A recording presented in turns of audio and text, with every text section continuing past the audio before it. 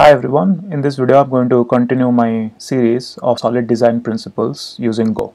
So in the last video I covered the S part of solid which is the single responsibility principle.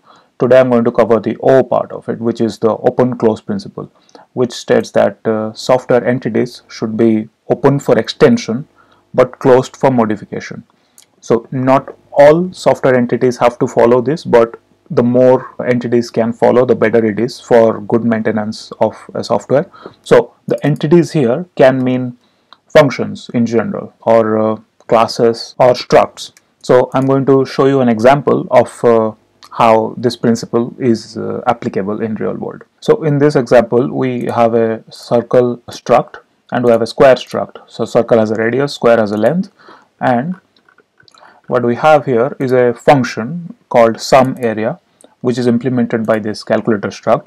And this sum area takes bunch of shapes which are currently of the type interface. And what it go uh, what it does is that it goes through all of them. And then for each of them it checks its type.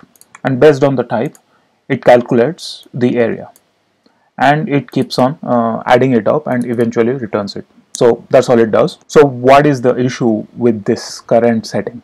So if I later come up with a new shape uh, let's say a triangle or a quadrilateral then I'll have to add an extra case here. So I'll have to modify this sum area function. And this breaks the open close principle which states that the software entities should be open for extension but closed for modification. So if I start modifying that then it is actually breaking that principle so how can I extend it without actually modifying it so here one of the ways I can do that is basically abstracting out this calculation of area functionality. What I mean by that is that so both of these structs, so circle and square, they have the same property which is called area. So we need area for all of them. So even if I add a triangle or a quadrilateral later on, so I will still need an area for that. So why not combine all of these into an interface which has this area functionality. So I can do that uh, in the following way. So the first step is to define a shape interface which has this area function or area functionality and all of our corresponding structs can simply implement this area which is happening here. So circle implements its area uh, which is calling pi r square and square also implementing its area. And then in the sum area function where we want to apply the open close principle we take instead of interfaces we take shapes. And then for each shape we just call area. And that's it. We just sum the area whatever this corresponding area function returns and we just return that.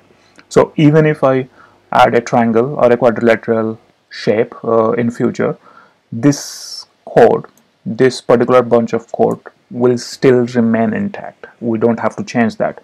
We just have to define a new struct and implements its corresponding area function and then this entity will still uh, obey the open close principle. So this principle is useful uh, in cases where let's say you have a project where there are a lot of people working and uh, one person has implemented some entity or some functionality like that and a new person comes and he wants to uh, extend that but the, that extension has to be done in such a way that the chances of errors is minimized you don't have to write unnecessary piece of codes and also you don't have to modify too many functions.